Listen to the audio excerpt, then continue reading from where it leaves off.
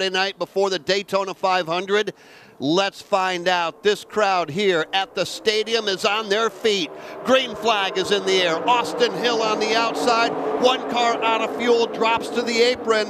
Allgaier giving a run down on the inside on race leader Austin Hill. Justin Allgaier is about a half a car length up. May not come into play, but Josh Berry comes off pit road about 300 yards ahead of the leaders. They are side by side now. Allgaier in the inside. Hill on the outside off turn two. Side by side for the lead. Everybody stacked up. Drafting help now in position behind the front two. Hill on the outside of the racetrack is going to lose some ground. Allgaier out in front. Mayer is going to give Allgaier a pop right in three. And that'll move Allgaier to the front of the field. Sam Mayer side by side for second with Austin Hill as they come off of turn number four, three wide further back. Do they have enough fuel in the tank? The car of Josh Berry is in front of his teammate Justin Allgaier, nearly a lap down as they race their way back to turn number one on the final lap. Justin Allgaier has got three car lengths of empty real estate between himself and the pursuers. Sam Mayer is the second driver. He comes to the outside.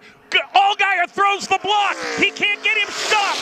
Mayer around the outside. They nearly crash and they're in the wall on the back straightaway. Mayer is upside down. The car flips over. He is spinning pirouettes on the roof of the race car. He'll take five, six other cars as Sam Mayer, with a shower of sparks, goes over on his roof, and now the car tumbles back onto all four wheels halfway down the back straightaway. And the caution flag is out at the start finish line. The white flag has been given.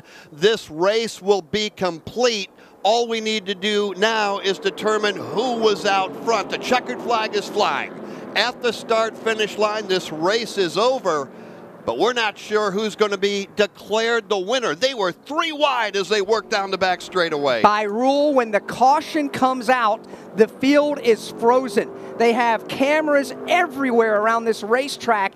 Next to us, past a pane of glass to our left, is race control. They are huddled around the video screens. Again, it's when the caution is called which car was out front when the caution was called. And Jeff, I can tell you, they were three wide, but there are cars below the double yellow line. John Hunter Nemechek was on the inside. Austin Hill shot the gap and went up the center. When the cars got together, Justin Allgaier was right there as well. We'll check on Sam Mayer with Mike Bagley. We'll do that right now quickly with you, Mike, and we'll determine who's going to win here tonight at Daytona. Well, the safety team here at Daytona International Speedway just descended upon Sam Mayer's car, no short of a dozen vehicles with lights ablaze as Sam is attempting to climb out of that race car. They are tending to him as the field greatly reduced now on the cooldown lap will make their way to his outside. Wow, high dramatics on the last lap here in Daytona. Still question marks, race control, and it's not just one person. There is a group of NASCAR senior high ranking officials, including race directors, huddled around the video screen. Again, by rule, when the caution is called after the white flag is given and taken by the leader, when the caution is called, the field is frozen. So whoever's in front when the caution is called will be the race winner. We're waiting on NASCAR to tell us exactly who that might be. Well, Allgaier took his teammate Sam Mayer all the way to the fence, and that left an opening for Austin Hill to come through. Sam Mayer came back down across him, just trying to regain the momentum that he lost when his teammate took him up the racetrack. Problem was, Austin Hill was there got into the back of Sam Mayer, turned him around. Mike Bagley had the call. That opened things up on the inside, and John Hunter Nemechek immediately took advantage. That stacked them three wide, and we have three cars now waiting at the Trioval entrance to find out if they've won at Daytona. John Hunter Nemechek, Justin Allgaier, and Austin Hill. They're waiting to find out who's going to get to celebrate. They're all sitting there basically three wide, just shy of the Trioval, still on the racetrack. The rest of the field has made their way to pit lane, but those three drivers are going to sit there until they are forced to go back behind the wall. One of those three is going to be the winner. And you know what they're waiting for? They're waiting to hear it right now from us over the PA and we'll give it to you as soon as we know. Off turn number two. Man, what a night. What a finish. It's been everything as advertised.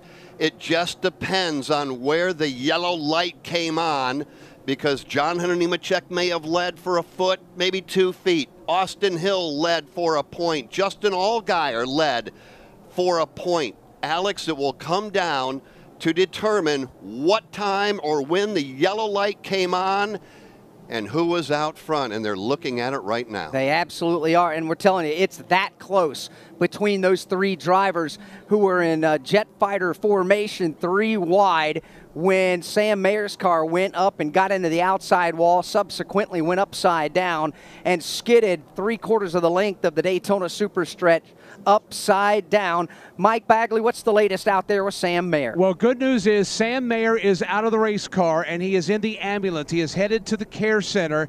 The car has been hooked up to the wrecker, and as it passed by me, holy cow, there is damage on every corner of that race car. He got turned, he got up in the air, and that car came down on the roof and it began to spin wildly on its roof in a shower of sparks. And at the very end, as it was coasting to a halt, the car abruptly flipped back over, back on all four wheels. And what seemed like almost immediately the safety crews were on the scene. They encased that car, got Sam out of it, and is taking him now for the mandatory check at the care center. It started off two when Mayer started to run to the outside, and Dave described it perfectly. Allgaier went to throw the block, contact was made, and it was on from there. It started off a two, and it ended halfway down the back straightaway. And thank you for the coverage, Mike. We appreciate it out there at the end of the super stretch here at Daytona. No fewer than 10 very high ranking NASCAR officials are looking at this, and, and we can see it. Uh, you know, Alex, it, it, you just can't make the call, at least not yet. What's interesting and, and kind of fun to take a peek at, those three drivers, Allgaier, Hill, and Nemechek, where they're parked, they have the advantage of looking to their left. They've dropped their window nets, and they themselves are looking at replays on NASCAR TV on the giant board. So, no doubt, each one of those three has an opinion on who was out front when the caution was called. And, and all three of them were out front whether it be for a foot or, uh, you know, a little bit further than a foot. All right, it's official.